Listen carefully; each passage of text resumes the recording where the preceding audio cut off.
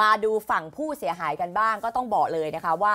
เมื่อวานเนี้ยคุณวุฒิพงษ์เองนะคะ สสปราจีนบุรีเขต 2 ก็เป็นคนที่พักมีมติให้ขับออกครับนะ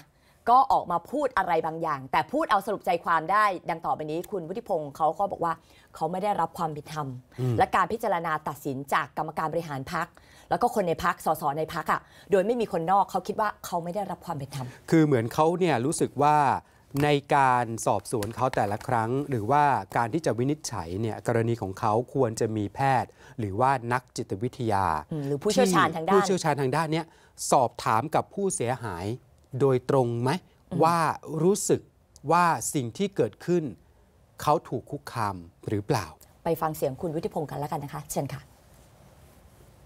ยกตัวอย่างว่าผมไม่ถูกกับกรรมการบริหารพรรคบางท่าน หรือเพื่อนสสบางคนไม่ถูกกับกรรมกรรมการบริหารพรรค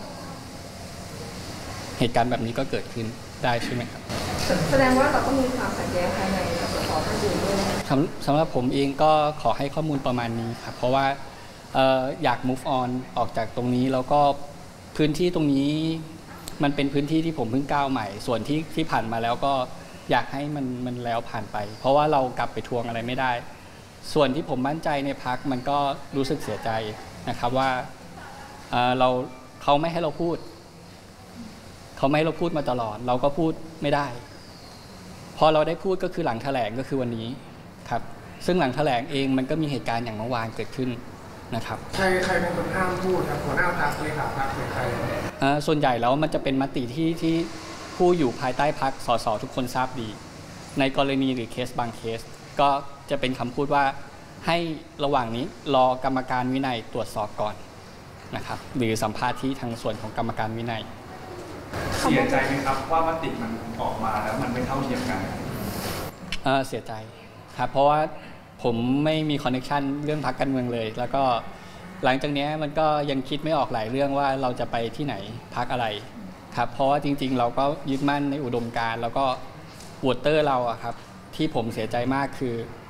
voter เราในจังหวัด จังหวัดปราจีนบุรีไม่เคยเปลี่ยนแปลงมา 52 ปี ในเขตเลือกตั้งผม แล้วเราเข้ามาแบบนี้แน่นอนครับ